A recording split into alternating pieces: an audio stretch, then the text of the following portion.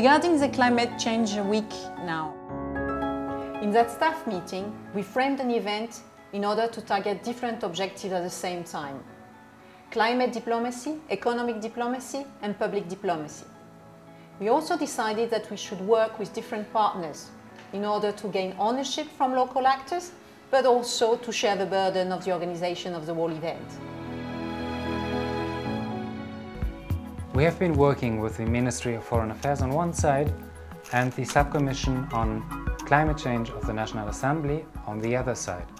These are the two key actors for public policies and norms for the implementation of the Paris Agreement in Venezuela.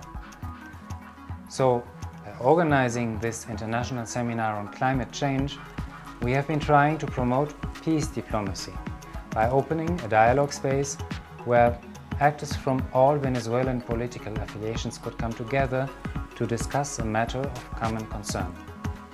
To make of the seminar a true success in terms of public diplomacy, we used TV, radio and social media before, during and after the event.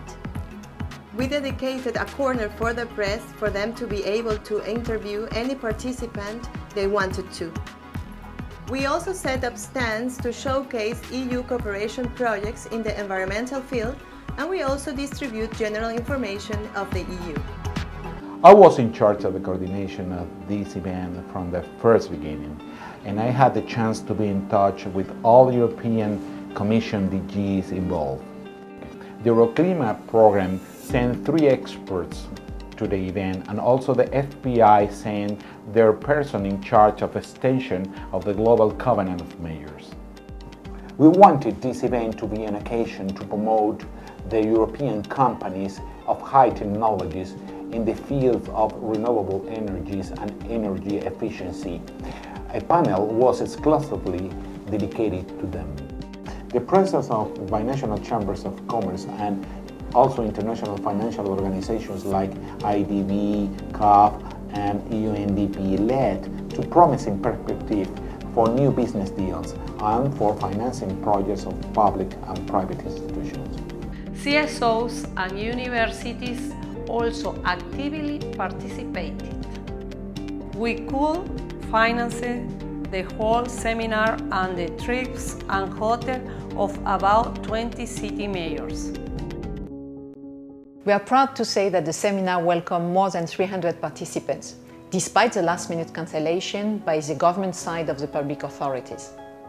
The speed dating facility we put in place the day of the event and the meeting organized the day after allowed for loads of fruitful contacts. Even business deals were made.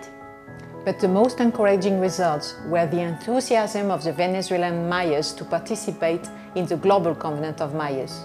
And second, the numerous messages of thanks, the likes and retweets.